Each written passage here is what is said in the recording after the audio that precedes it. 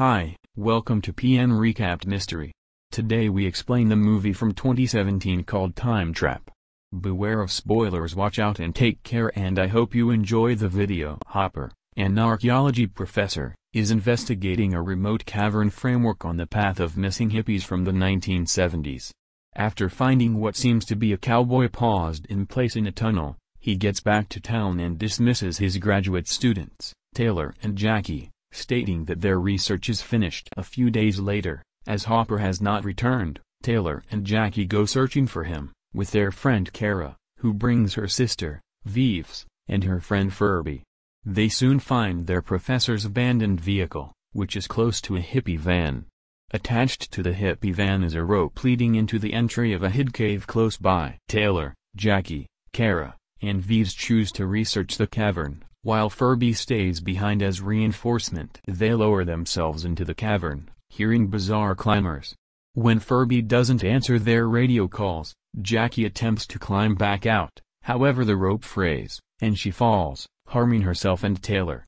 Calling for help, they get a transmission from inside the cavern and follow it. As they continue on, the gathering hears a few weird murmurs coming from somewhere inside the cavern.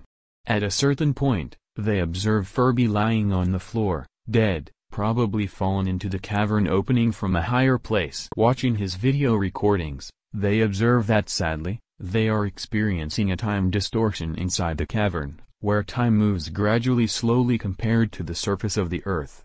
Light blazes over the sinkhole opening, which they conjecture to be the generally quick rising and setting of the sun. Out of desperation, Cara free climbs out of the cavern to get a GPS signal. She finds the surrounding area to be new, infertile, and rocky, with a bizarre triangular object in the sky. When she gets back to the cavern after generally 30 minutes, her colleagues insist she was just gone a second. They contrast video of their various observations to reveal the time discrepancy. Further assessment of Furby's camera uncovers the light blazes to not be days and evenings however whole seasons. Alongside the frightening disclosure Furby endured his fall yet was assaulted by another being in the cavern. Cara plans to climb out again looking for help yet is hindered by a cutting-edge humanoid spaceman descending through a retractable stepping stool. The spaceman is assaulted by a savage who appears to show up all of a sudden. The gathering escape and slip further into the cavern to find more savages who have all the earmarks of being crude Stone Age men. They additionally find the still living, breathing people of the missing hipsters and that the unbelievable fountain of youth truly exists inside this cavern. Taylor is seriously injured by the cavemen when attempting to get the gathering to security.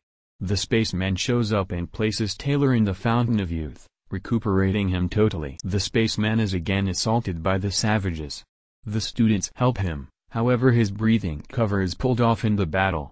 The spaceman experiences difficulty breathing and communicates in a language the group doesn't comprehend. He demonstrates he is out of time and shows the group a progression of media cuts, from their own report for missing to a declaration of a space station called the Ark, which Cara perceived as the triangular object she found in the sky.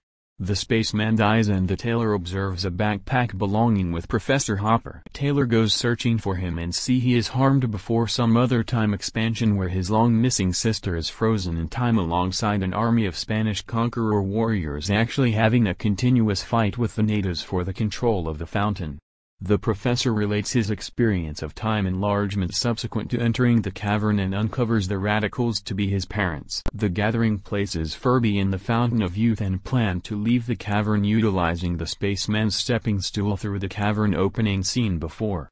The cavemen pull down the stepping stool before all can climb it. Cara comes to the top and is gotten through the aquatic portal by gray-clawed creatures before she can help her companions, presently frozen on schedule. She returns through the portal, diversely dressed and going with rope-like mechanisms which pull her companions in addition to Furby, Hopper, and Hopper's revived family through. A short time later, Furby stirs, alongside Hopper and Hopper's family, all having been recovered and restored with the healing waters.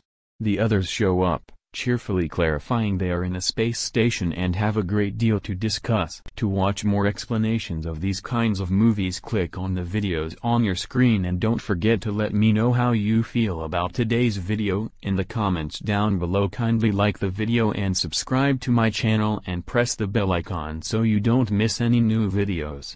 Thanks for watching.